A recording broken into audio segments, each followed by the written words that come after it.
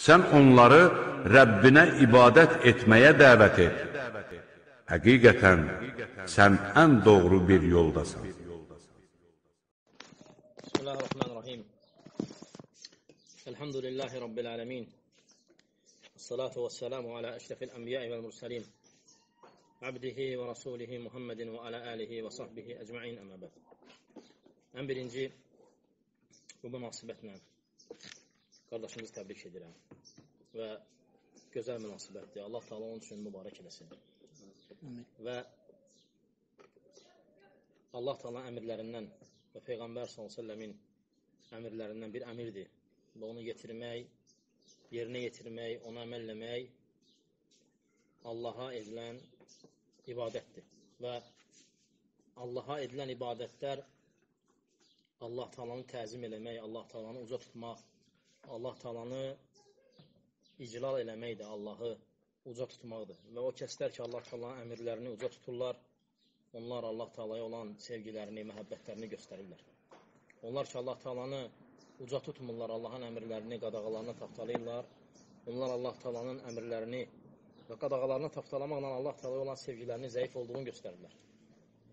Ona görə hər bir itayət Allaha yaxınlaşdırır və hər bir asilik Allahdan uzaqlaşdırır. Ona görə biz bizim üzərimizə vacib olan bazardığımız qədər Allah Taala'nın əmr etdiyi və Peyğəmbər sallallahu əleyhi və səlləmin bizə öyrətdiyi itaətləri, ibadətləri yerinə yetirməliyik və onda davamiyyətdə olmalıyıq və nədən ki çəkindiriblər. Allah və Rasul nədən çəkindirib, ondan çəkinib davamiyyətli şəkildə o şeyləri eləməməklə Allaha yaxınlaşmalıyıq və bilmək lazımdır ki, bu cür əməl eləmək Allah Taala'nı təzim eləməkdir, Allah Taala'nı uza tutmaqdır.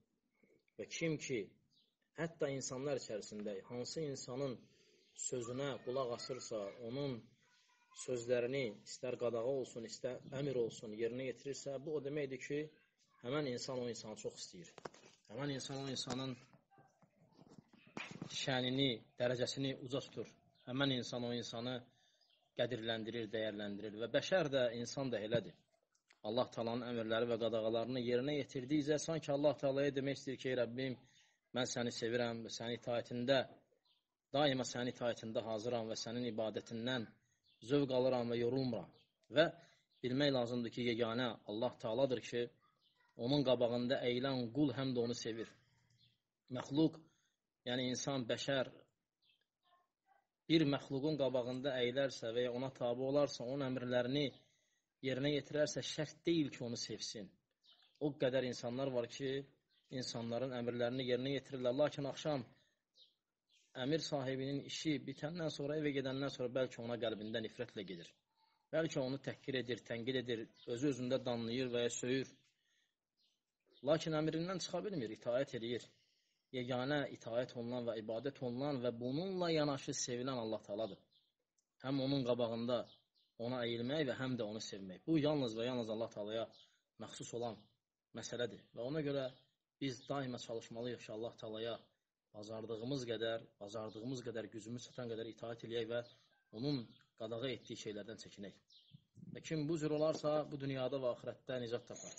Kim bu cür olmarsa, dünya və axirət xüsranını özünə cəlb edər, özünə qazandırar. Və Allahdan istəyirəm ki, Allah Taala bizim qəlbimizi imanla, əməllərimizi imanla doldursun və bizi asilikdən, şərdən çəkindirsin. Və bizi itaətdə böyütsün, itaətdən ayırmasın. Bizi çirkin işlərdən qorusun, bizi çirkin işlərə aparan yollardan saxlasın, nəfsimizin şərinə uymaqdan qorusun, nəfsimizin istəklərinə meyl etməkdən qorusun, daima ədalətli danışmağı müvəffəq eləsin. Allah təala Quran-ı Kərimdə buyurur ki, əgər danışsanız doğru danışın. Doğru danışanlar nə olun? Peyğəmbər sallallahu aleyhi və səlləm deyir, qul o qədər doğru danışar ki, Allah qatında sıddıqlardan yazılar. O qədər yalan danışar ki, Allah qatında yalancı yazılar. Yəni, qul ibadəti ilə, sözü ilə, əməli ilə Allah qatında öz məkanını yazdırır. Əməli ilə, sözü ilə yazdırır özünün kim olduğunu.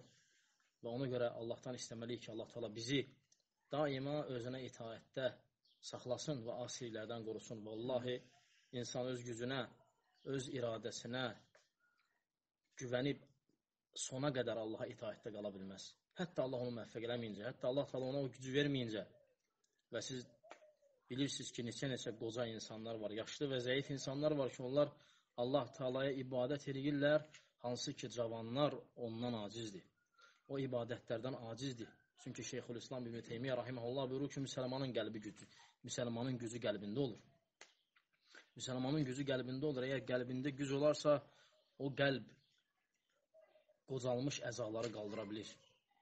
O qəlb, o düşmüş, qocalmış, yaşlaşmış əzaları qaldıra bilir, durğuza bilir, Allaha itaətdə işlədə bilir, amma qəlb qocalarsa, günahlarla dolarsa, orada zülmətdən başqa bir şey olmarsa, o cavan əzalar qalxa bilməz Allahın itaətinə, dura bilməz. Çünki Allah talanın nuru yoxdur. Ona görə İbn-i Qeym Rahiməllah vurur ki, hər bir qəlbdə nur var.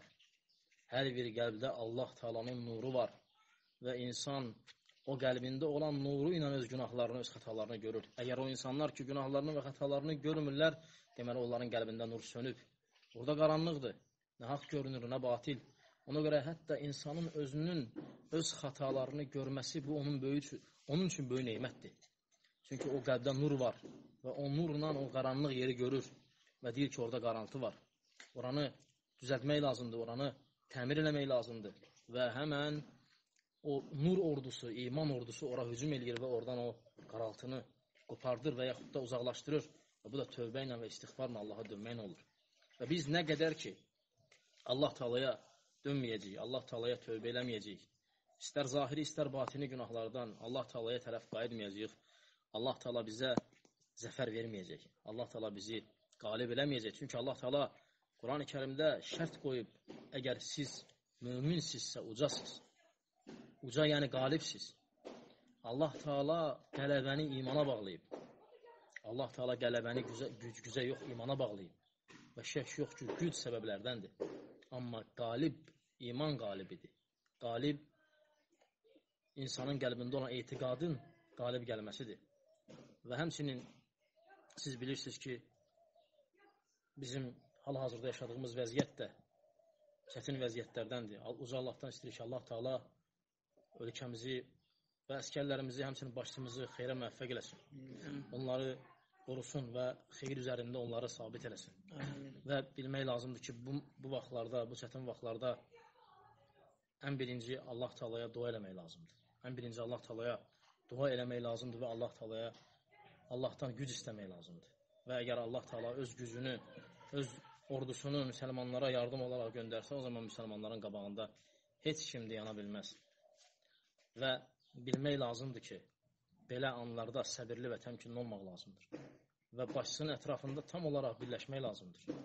Çünki Peyğəmbər sallallahu aleyhi və səlləm buyurur ki, kim başçının ətrafından çıxarsa və ona etdiyi beyyəti, ona etdiyi və ona tabeçiliyi, yəni pozarsa, ölsə onun meyyidi cahiliyə meydidir. Yəni cahiliyə meydindən burada qəsd, yəni müşriklərin və ya müşrik qəbilələrin halında ölür. Çünki müşrik qəbilələr o vaxt başsız yaşayırdılar.